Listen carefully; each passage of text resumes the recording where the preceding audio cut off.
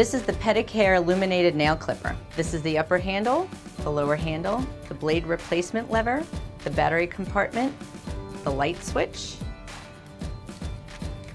This is the compartment where the nail trapper is and it has a five times magnification lens and the super bright LED lights.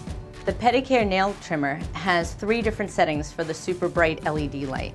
Off, always on, or in the trigger position so that it turns on as you squeeze the handle. You want to make sure that you put the nail right into the illuminated zone and do a quick motion just like that. And even though his nails are fairly dark, I can still use the magnifier glass in order to see exactly where to cut.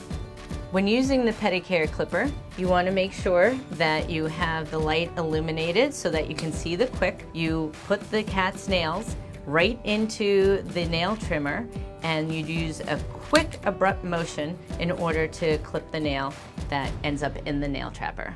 To keep the Pedicare clean, just wipe it off after each use with a damp cloth, and because the blades are very sharp, just keep it out of reach of children. Replacing the batteries is a very easy task. All you have to do is use either a quarter or a flathead screwdriver. You just loosen the battery compartment, and there they are. Replacing the blades on the Pedicare is super easy. All you have to do is push the lever up in between the two handles, use a paper clip, go right in, and the blade comes right out for easy replacement.